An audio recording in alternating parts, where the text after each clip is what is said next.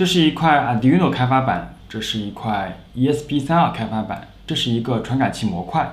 在这些不同的电路板上都存在着同样的一种芯片——线性稳压器，也就是 LDO。它的作用非常简单，但是又很重要，就是把外界的输入电压转换成内部其他芯片需要的电压。这个世界上的线性稳压器有成千上万种，即便是最有名的线性稳压器之一，也就是你们熟知的幺幺幺七，都有很多种。它们来自不同的厂家，有着不同的价格。比如说最常见的 AMS 幺幺幺七，来自于 AMS 这家公司。德州仪器，也就是 TI 生产了 TLV 幺幺幺七，安森美生产的 NCP 幺幺幺七，国内也有很多厂家，例如威门的 M1 幺幺幺七，长电的 CJT 幺幺幺七。那么这些幺幺幺七之间又有什么区别呢？你应该选贵的还是选便宜的呢？今天我们就来评测一下这五款幺幺幺七芯片，通过评测这些幺幺幺七芯片，让大家对以下问题有更深入的认知。如何正确的使用线性稳压器？线性稳压器的数据手册中有哪些关键的参数？如何测试一颗线性稳压器？首先要声明一下，这五颗幺幺幺七后面的四颗都是我从正规渠道购买的正规芯片，只有 AMS 幺幺幺七是我在淘宝上两毛钱买的，我不太相信这是 AMS 公司生产的，大概率应该是个仿造的山寨品。之所以还是把它放进来做评测，是因为它很便宜，而且大部分人能买到的也就是这种山寨的 AMS 幺幺幺七。要使用幺幺幺七，首先要明确的是电路图。你可能会觉得幺幺幺七的电路图有什么好明确的？不就是输入输出加个电容就可以了吗？那么让我们来看一下数据手册，确实提供的参考电路也就是输入输出各加一个电容，但是在另外一个隐秘的角落里有这么一段话。翻译成中文之后，就是输出电容要使用一颗钽电容。言外之意就是说，它不能用这种陶瓷电容。至于为什么一定要钽电容，一会儿会细讲。我就按照数据手册的要求，找到了一个合适的钽电容。另外，我也抽空画了一个测试的 PCB，反正现在 PCB 打样也不要钱。在幺幺幺七的输入输出各焊接一个电容之后，我们就可以开始测试了。对于一个电压转换芯片来说，输出一个准确的电压是最起码的要求了。输出电压的测试标准，数据手册上也有标注，一般就是标称电压的正负百分之一点五，三点三伏的话，也就是三点二五到三点三五之间。对于准确度的测量就很简单，找一个电压表测量一下就可以了。需要注意的是，我一般会分别测量空载和满载的输出，也就是输出电流为零时的输出电压值，以及输出电流为八百毫安时的输出电压值。好，第一轮测试结束，我们来看一下结果。根据我们之前的标准，这一轮测试所有的幺幺幺七都通过了。那么第二个我们要测试的是输出的平稳度，也就是纹波。对于任何电源，输出肯定是越平稳越好。但是现实世界中，因为各种因素，没有这样理想的电源，输出肯定有一些这样的浮动的。我们需要测量出这个浮动的上下压差。纹波的测量需要用到示波器，这样才能看到实际的输出波形。测试纹波的方法网上有很多，有两个关键的要点。第一个是需要把示波器的带宽设置为二十兆赫兹。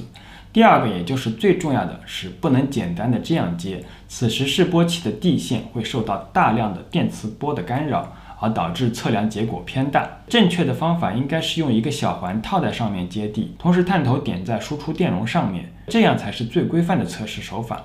我们来看一下测试结果，可以看到五颗幺幺幺七基本上没啥差别。一般来说，LDO 的纹波在二十毫伏以内，基本上就可以满足正常使用了。所以这一轮所有的幺幺幺七也都通过了测试。在现实中，线性稳压器后面接的负载是动态变化的。就像我们家里的用电量会随着各种电器的开关实时发生改变，而用电量的波动又会影响到电网的电压稳定性。同样，负载的变化也会带来输出电压的波动。为了再现这种电压的波动，我们需要用到一个特殊的仪器，就是动态负载机。它会把自己模拟成一个周期性的负载，也就是产生一个周期性的电流。此时，我们再去用示波器观察输出电压的时候，可以明显的看到输出电压的波动了。我们来看一下测试结果，这一轮测试差距就明显拉开了。表现最好的是来自于 TI 的，也就是三块钱的 TLV 幺幺幺七，电压浮动有九十四毫伏。排名第二的是安森美的，有一百三十四毫伏。第三的是长电的一百七十二毫伏，第四的是威门的两百一十六毫伏，最差的就是山寨的 AMS 幺幺幺七，有三百四十四毫伏。这个时候，我们再来看看为什么数据手册中会有要求输出电容用钽电容而不是陶瓷电容。我们换上一个相同容值的陶瓷电容，可以看到，即便是 TI 的 TLV 幺幺幺七，它的输出波动也有两百多毫伏了，而山寨的 AAMS 幺幺幺七更是达到了五百毫伏，电压最低点连两点八伏都不到，这很有可能会导致电路的不稳定。为什么换了相同容值的电容之后就会有这么大的差别呢？上期视频我们有提到过，线性稳压器的内部可以看成是一个小人、一个电压表、一个可调电阻。小人观察电压表的输出来决定可调电阻的值，从而保证输出的恒定。这是一个闭环的系统，而输出电容也是这个闭环系统中非常重要的一环。电容也不仅仅只有容值这一个参数，还有另外一个非常重要的参数，就是寄生电阻。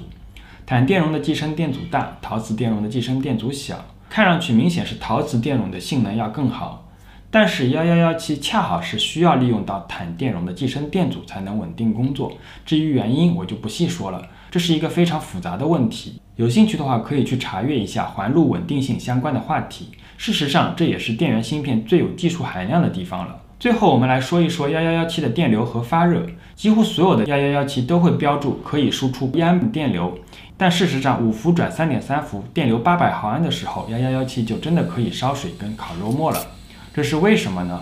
在数据手册中有这么一个参数，单位是摄氏度每瓦，它指的是每一瓦的功耗能在芯片内部和空气产生的温度差。当然，这个数值并不是很精确的，跟分装外部空气的流动速率、PCB 布局等等都有关系。只能说大致估计在八十到一百六左右。芯片内部的温度大致就可以利用这个公式算出来了。代入五伏转三点三伏，八百毫安电流的话，可以推算出芯片的温度至少在一百三十摄氏度左右，确实可以烤肉了。所以尽量不要让幺幺幺七去承受超过一瓦的功率。如果一定要的话，可以考虑加入散热片，或者干脆换方案使用 DC-DC。至于 DC-DC 的使用，我会在后面的视频里给大家介绍。总结一下，我们主要从输出的电压值、纹波、动态响应度三个维度做了评测。从测试结果也可以很明确的看出，确实是一分价钱一分货。三块钱的 TLV 幺幺幺七性能最好。五毛钱的 CJT 幺幺幺七性价比最高，至于两毛钱的山寨 AMS 幺幺幺七，我就非常不建议购买了。另外，幺幺幺七尽量要使用钽电容做输出电容，不建议使用陶瓷电容。同时，也要时刻注意发热的问题，并不能仅仅只看输出电流，而是要使用消耗的功率来计算发热量。这几个评测的维度不仅仅对于幺幺幺七适用，其实对于其他的线性稳压器也完全适用。事实上，幺幺幺七已经是一颗很古老的线性稳压器了。现在新出的很多线性稳压器的各项指标都要优于幺幺幺七，还加入了短路、过流、过压保护等功能。后面有机会的话，我再给大家介绍。那本期视频就到这里，我是工科男孙老师，我会定期给大家分享一些硬件相关的知识，别忘了关注和三连哦，拜拜。